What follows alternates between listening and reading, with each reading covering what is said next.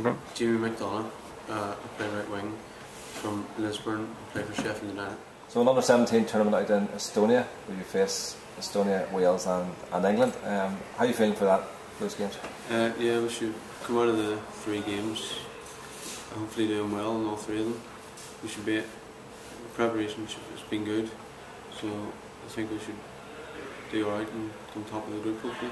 And how's the atmosphere amongst uh, the, the team here in the hotel for your preparations? Is there good team morale or whatever?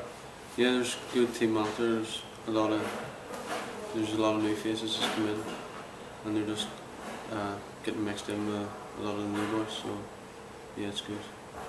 And how, how have you found the transition over to Sheffield United yourself?